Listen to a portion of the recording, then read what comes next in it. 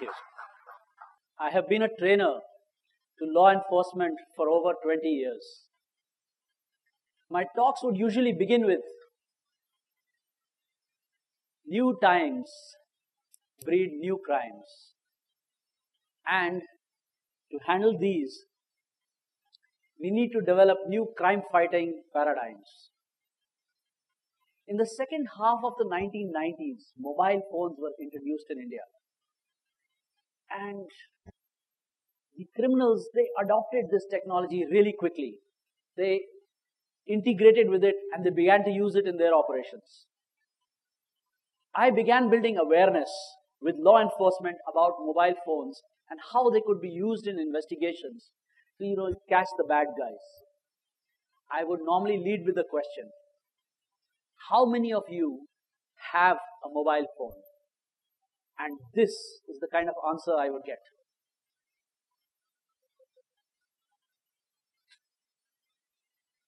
Just one or two would say, Yes, I have a mobile phone. And, you know, if you don't have a mobile phone, how can you investigate it? It takes time for you to understand how the technology works. However, as time elapsed, everybody began to get a mobile phone. So when I would ask the same question down the line, I would get a response which was like this. I realized I had to change my question. And I began to ask, how many of you do not have a mobile phone? And this was again the response I began to get. One or two would say, I don't have a mobile phone. So the question arose, why don't you have a mobile phone? And they would say, mobile phones are a nuisance. They're a trouble. They will constantly, you know, catch you when you don't want to be caught. In fact, I have a terror at home. I have a terror in the office. They, you know, they will keep me tracked all the time. They will call me day and night. I don't want a mobile phone. I'm not getting one. I know those people even now. They all have a mobile phone. And in all probability, it is those very terrors, their wives and their bosses, who have enforced that they have a mobile phone. Which brings me to the point. Mobile phones are everywhere. In fact, they are really everywhere.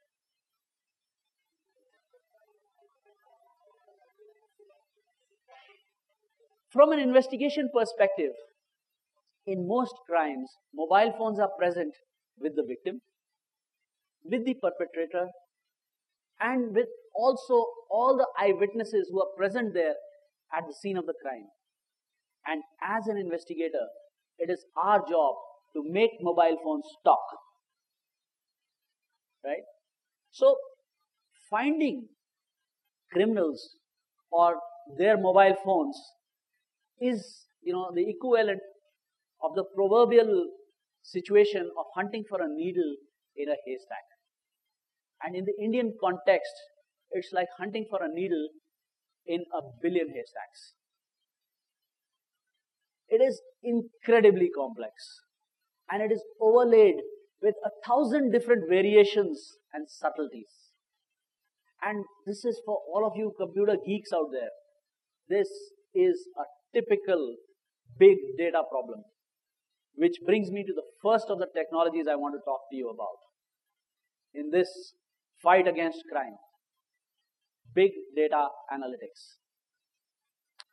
We are a nation of 1.3 billion people, 900 million cell phones.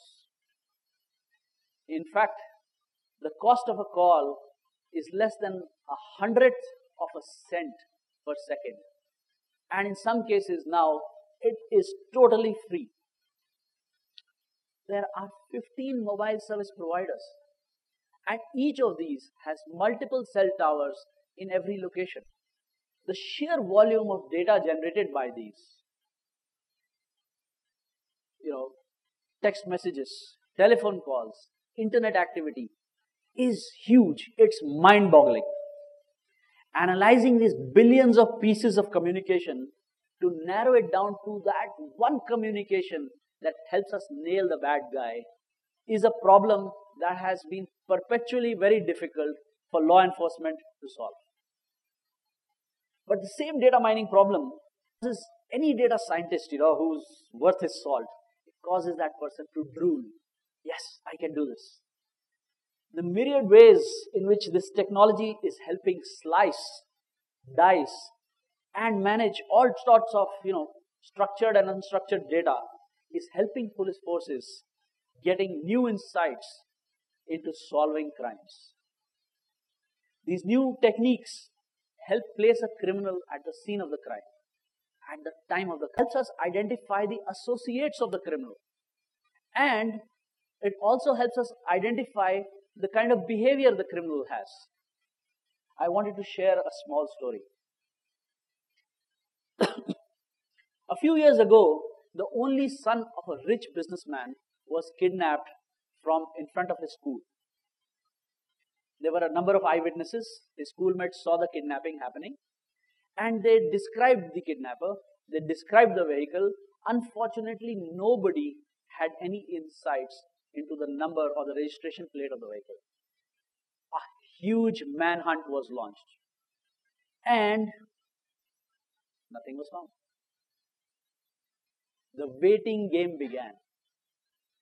The parents of the child and the police were all waiting for a call demanding ransom. The call never came. After three tense days, the father, I've got, you know, I can't stand this tense atmosphere anymore. I must go, get a change of scene. So he goes to his office and, you know, he logs in into his computer to check his mail. And the very first mail that he gets is from the kidnapper. And the mail says, I want 15 million bucks as ransom. Now, the IP address of this email is traced. It ends up in a cyber cafe. The cyber cafe owner is quizzed, and the cyber cafe owner gives a description of this guy. The description matches what the children over there described as the kidnapper. the law of diminishing recovery plays a very big role in kidnapping incidents. The longer the period of time that has elapsed since the kidnapping, the lesser the chances of getting the victim back alive. Three days had already passed. Time was running out. The father of the child was advised send back an email, say that you will pay the money. Just ask for proof that the child is alive. That's exactly what he did. Another day elapsed. Another email was received. And attached to the email was a short video of the child crying but alive though unhappy. However, on closer examination of the video, the video, you know, had some discrepancies. It gave off an odd feeling. And when it was closely examined, it was found that just before the video began, there was a very low sound which was recorded. And in that, it was, the words were, start crying. So, you know, that sort of raised the antennas. And when the video was examined, it was found that the child was not bound, not tied down, and nor was the child blindfolded. Alarm bells started ringing because it became obvious that the child knew the kidnapper and the kidnapper knew the child. All the indications are that when this happens, the probability of the child coming out of this alive is very low because the kidnapper now has to kill the child because the child can identify the kidnapper. At this point, speed was of the essence and the police swung into action. A cell site analyzer was taken to each of the contact points. One was the scene of the kidnapping, and the other two were the cyber cafes that were in the question cellular tower IDs of all the cell towers covering each of these locations was identified. There were as many as 37 in one location and 42 in the other two. And as I had mentioned earlier, these were from different service providers. Law enforcement sent in an emergency request to all the service providers. They said, please send us a detailed log of all the cellular activity in these specific towers. Which means messages, telephone calls, internet activity.